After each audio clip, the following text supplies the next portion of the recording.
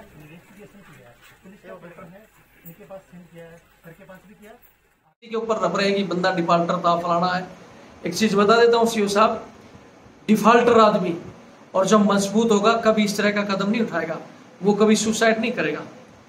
अगर वो इस तरह का कदम उठाएगा तो पहले दो चारों को ठोक कर जाएगा। ये मैं लिख के दे सकता हूँ। डिफाल्टर कभी भी अपने आप को सुसाइड नहीं करता है।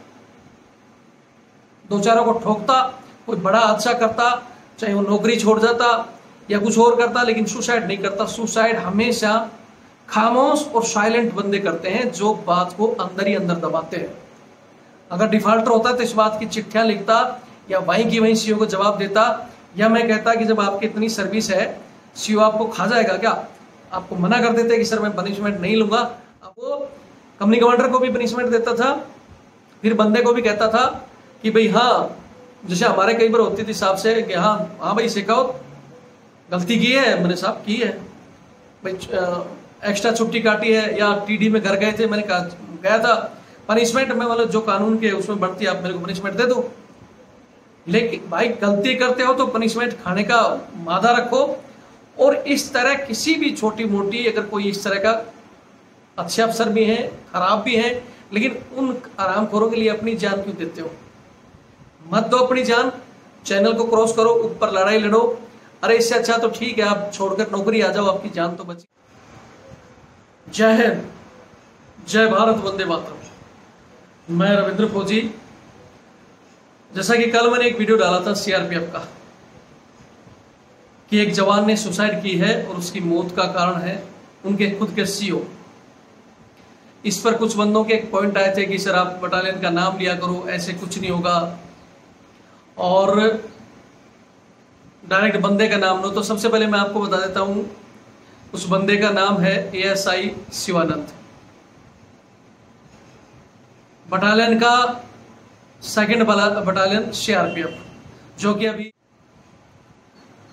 और आपको यह भी बता देता हूँ कि कल के वीडियो को वायरल होने के बाद सीओ के ऊपर कोर्ट ऑफ़ इंक्वायरी चला दी गई है। मेरी कुछ लोगों से बात हुई है। उनके रेजिमेंट के और भी यूनिट बटालियन के जो बंदे हैं, उन्होंने भी इस बात को क्लियर कर दिया है कि, सर हाँ हमारे जो शिवानंद सर थे, जिनके साथ जो आपने कल घटना बताई कि उनको आपको एक बार फिर इसमें मैं घटना बता देता हूँ। एक आपको ये मैं बीच में रोक कर एक वीडियो भी दिखा देता हूँ, जो उनके गाँव में जाकर कुछ बंदे गए थे, वहाँ पुलिस भी बुलाई गई है।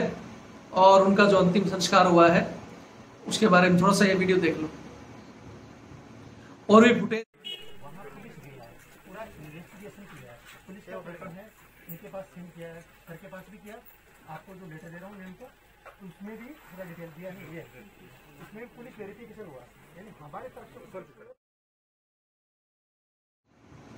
और भी फुटेज है, उनके मैं वीडियो बाकी आपको, उनकी जो डेड बॉडी है, उसका फ़ोटो दिखा नहीं सकता, क्योंकि गोली मारी हुई है अपने आप को।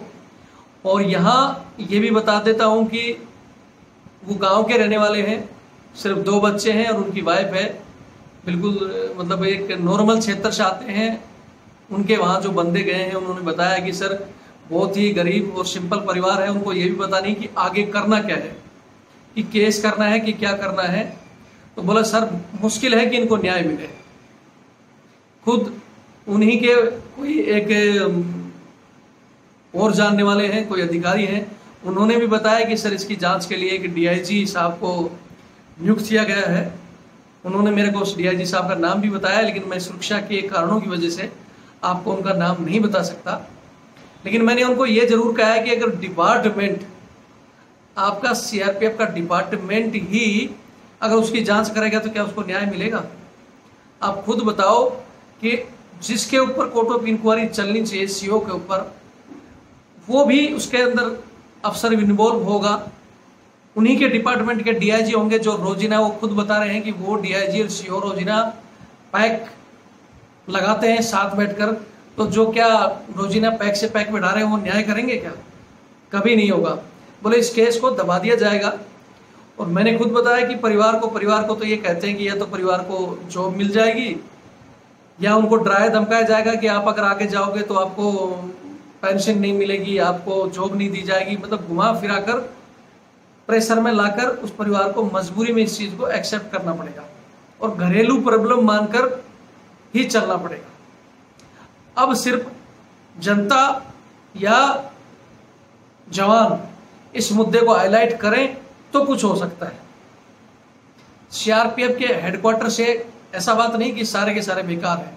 कुछ अच्छे बंदे भी हैं, जिन्होंने, कुछ अफसरों ने मेरे को कहा कि अगर उनको जो पनिशमेंट दी गई है, उसकी चर्चा तो है, हर तरफ़ चर्चा है, लेकिन अगर या तो जैसे आपके पास कुछ भेजा गया है, उनका कोई फुटेज हो पनिशमेंट देते हुए का, या कोई बंदा गवाही दे दे तो इस आधार पर उस सीओ का पूरा इलाज हो सकता है, क्योंकि उसकी और भी बहुत सी रिपोर्टें हैं, और वो वास्तव में ही बंदा सबको गाली क्लोज करता है काफ़ी बंदों ने ये चीज़ें मेरे पास व्हाट्सएप के ज़रिए भेज भेज रखी हैं। आप चाहोगे तो मैं एक दो स्क्रीन शॉट उसमें दिखाऊँगा।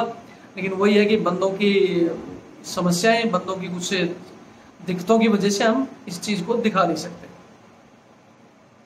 मैंने फिर कह दिया कि जब तक इसकी सीबीआई या एनआईए या कोई दूसरा फॉर्मेशन जब तक इसकी जाँच नहीं करेगा, इनको न्याय नहीं मिल सकता। तो आप ये मान लो कि आपका वायरल करना कम से कम दिल्ली तक तो इस बात को पहुँचा दिया है। अब आप चाहते हो इसकी न्यायिक जाँच हो तो जो बटालियन के बंदे प्रेजेंट हैं, बहुत बंदों से बात की, लेकिन सामने कोई नहीं आना चाहता। तो मैंने कल भी कहा था, आज फिर आपसे रिक्वेस्ट करना चाहता हूँ कि आप सामने नहीं आ सकते। तो कम से कम एक गुप्त लेटर लिखो, और लेटर को आपके हेडक्वार्टर गृह मंत्रालय और पीएमओ या ट्विटर के ज़रिए सब जगह पहुँचा दो।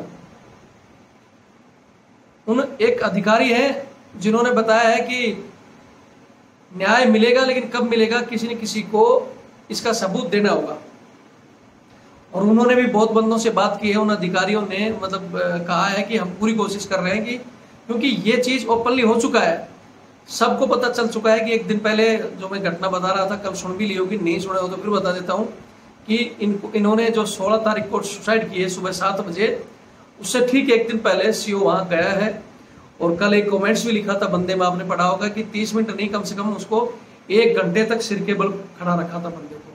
इतने सीनियर बंदे को अगर आप सबके सामने, और वो भी बिल्कुल हमेशा प्रॉपर ड्यूटी करने वाला सिंपल आदमी, चीज़ और बता दूँ कि अब वो बोल रहे हैं कि वो तो पहले से डिफाल्टर था ऐसे कुछ चेंज मतलब उसको उसी के ऊपर हैं कि बंदा डिफाल्टर था, फलाना है।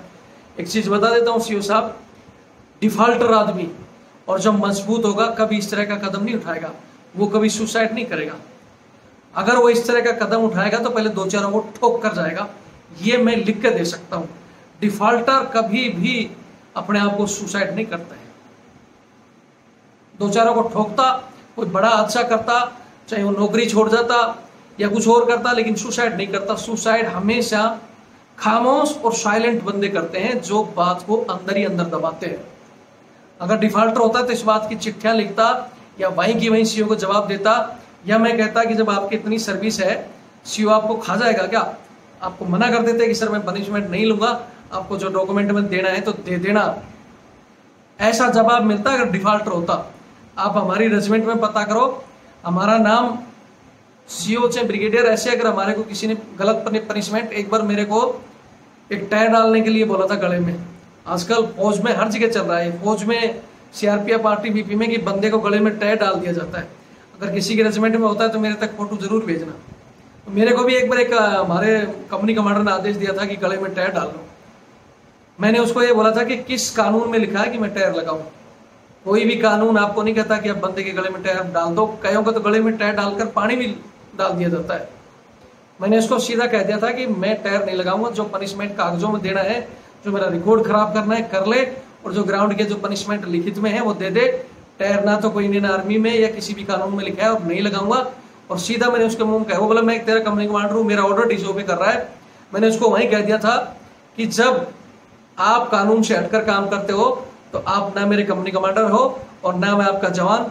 मैं मेरी मर्ज़ी से आज़ाद हूँ, मैं आपके इस चैनल को तोड़कर ऊपर जाऊँगा। जब कोई चैनल बोलते हैं प्रॉपर चैनल जाओ प्रॉपर चैनल के अंदर जिस चैनल से आप लड़ाई कर रहे हो, जैसे आप मान लो सीएचएम के लेवल से senior JCO SM company commander CO जिस चैनल से आपका डिस्ट्रीब्यूट चल रहा है, झगड़ा चल रहा है, और वो चैनल आपको उल्टी हुक्म दे रहा है, आप उसको नहीं मानना चाहते तो उस चैनल को इग्नोर कर दो, उससे ऊपर चैनल से मिलो। उसी समय मैंने उस कंपनी कमांडर को कहा था कि मैं आपको कंपनी कमांडर नहीं मानता, ना आपको मैं सल्यूट करूँगा, और आप गलत आदेश दे रहे हो, इसलिए मैं इस चैनल को क्रॉस करके ऊपर चैनल के पास जाऊँगा। मैंने जाकर सीओ को बताया कि ये मेरे को ऐसी सत्ता दे रहा है, मेरे को आप लिख के दो। और मैंने सीओ को भी कहा कि अगर आप इस चीज़ को एग्री करते हो तो मैं आपका ये चैनल भी क्रॉस करके ब्रिगेड कमांडर के पास जाऊँगा।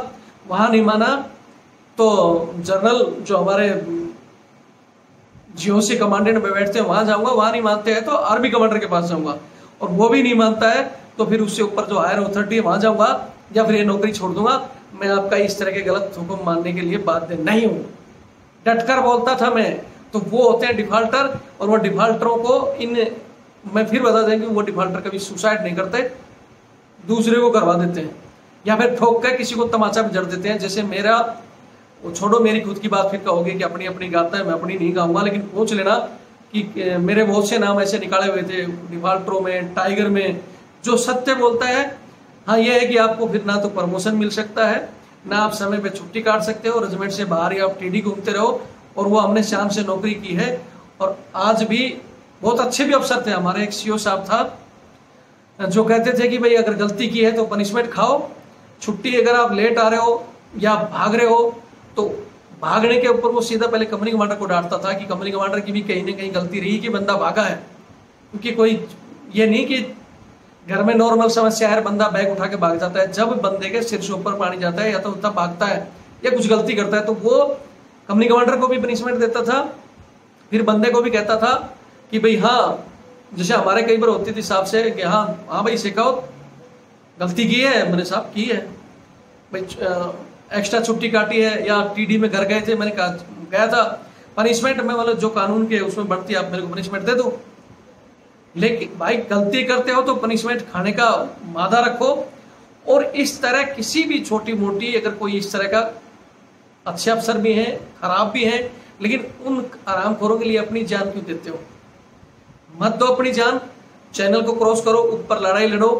अरे, इससे अच्छा तो ठीक है, आप छोड़कर नौकरी आ जाओ, आपकी जान तो बची रहेगी।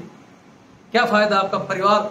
वो उसी का डिपार्टमेंट आज फिर कह देता हूँ कि उसी डिपार्टमेंट में अगर ये चीज़ें चलेंगी तो ना बंदे को न्याय मिलेंगी और ना ही ये जाँच प्रक्रिया होगी। क्योंकि ऐसा केस मैंने वो हमारा बहरोड का एक डाला हुआ है जो आज करीबन पाँच साल हो गई उसको लड़ाई लड़ते हुए। न्याय नहीं मिल रहा है। उनको वीडियो को भी आपने पूछा है, हालाँकि पचास हज़ार तक गया है, लेकिन आज एक हीरोइन ठुमका लगा देना, उसको आप मिलियनों में क्रॉस कर देते हो।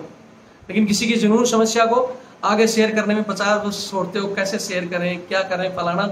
अगर वही घूम जाए ना ऐसे तीन सौ साठ डिग्री में कहे मतलब हर जगह पहुँच जाए तो इन चीज़ों का न्याय मिलेगा। इसलिए मैं आपसे यही कहना चाहता हूँ, ज़्यादा ज़्यादा शेयर करो और दूसरे का इंतज़ार नहीं करके हमारे चैनल को हम खुद ही इतना बढ़ा देंगे कि एक दिन हम ही खुद ही इन चैनलों के बाप होंगे। हमें ज़रूरत ही नहीं पड़ेगी कि हम कहेंगे कि हमारी न्यूज़ डालो, क्योंकि हमारे पास ही अगर लाखों आदमी जुड़े होंगे, लाखों तक एक सेकंड में बात पहुंचेगी तो हमें ज़रूरत क्या होगी? यानी बोलते ना जैसे मुंबई में बाला साहेब ठाकरे सरकार से ज़्यादा उनकी चलती थी, उस तरह एक दिन ऐसी खुद की एक आवाज़ बुलंद करो कि हमें सरकार हमारी सुने, ना कि हम सरकार की सुने।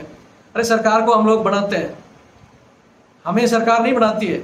आम पब्लिक लोकतंत्र में सबसे ज़्यादा बड़ा अगर किसी का राज है तो वो होता है पब्लिक का, लेकिन पब्लिक इस चीज़ को समझती नहीं है।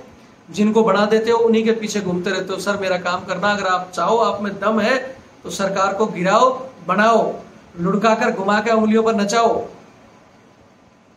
तो मैं चाहता हूँ इस वीडियो को ज़्यादा से ज़्यादा शेयर करें, न्याय मिले, जाँच प्रक्रिया उसकी शुरू हो चुकी है। अगर किसी भी बंदे के पास उनकी कोई फुटेज हो, इस तरह की सजा देते हुए की तो मेरे पास ज़रूर भेजना ताकि हम उनका न्याय करवा सकें।